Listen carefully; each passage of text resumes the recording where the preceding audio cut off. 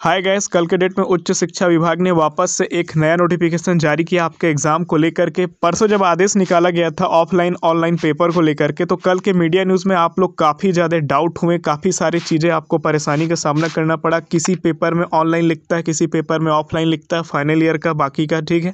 तो उसको देखते हुए कल उच्च शिक्षा विभाग और मुख्यमंत्री जी वापस से यहाँ पे एक नया नोटिफिकेशन जारी किए, जिसमें हंड्रेड कल के डेट पर क्लियर कर दिया कि सभी पेपर आपके ऑनलाइन होंगे, ठीक है? सभी पेपर आपके ऑनलाइन होंगे। ऑफलाइन पेपर कराने से पहले यूनिवर्सिटियों को यहाँ पे लेना पड़ेगा परमिशन ठीक है? ये आदेश आप देख भी सकते हैं। यहाँ पे ट्वीट कल यहाँ पे इन्होंने किया हुआ है मुख्यमंत्री जी ने। यहाँ पे साफ़ साफ़ मेंशन किया कि कोविड नाइन्टीन की महामारी के संक्रमण को देखते हुए उच्च शिक्षा विभाग, छत्तीसगढ़ द्वारा प्रदेश के राजकीय एवं निजी विश्वविद्यालयों में शिक्षा सत्र दो हज़ार की कोई भी परीक्षा आगामी आदेश पर्यंत ऑफलाइन पद्धति से आयोजित नहीं करने का आदेश दिए गए हैं, ठीक है?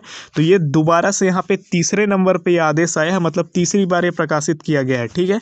इस आर्टिकल में भी आपको मैं समझा देता हूँ, आज ही का आर्टिकल है। प्रदेश के समस्त राजकीय और निजी विश्वविद्यालयों की परीक्षाएँ ऑनलाइन मोड में होगी। इसे लेकर उच्च शिक्षा विभाग ने दो दिन में तीसरा आदेश जारी किया है।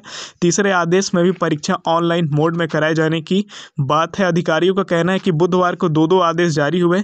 दोनों आदेश के क्रमांक एक ही थे। आदेश में सम संख्यक शब्द भी लिखा था। इसके बाद भी कॉलेजों और कुछ यूनिवर्सिटी असमंजस की स्थिति में थे। इसे लेकर ही गुरुवार को आदेश जारी किया गया है। इसमें स्पष्ट किया गया कि परीक्षाएँ ऑनलाइन मोड में होगी। विश्वविद्यालय कोई भी परीक्षा आगामी आदेश तक ऑफलाइन मोड में नहीं ले, ठीक है? तो अब आपको फाइनलाइज हो गया होगा। बहुत सारे लोगों को डाउट हो रहा था। बाकी आप क्या सोचते हैं इस बारे में कमेंट सेक्शन पर ज़रूर मैंसन करिएगा।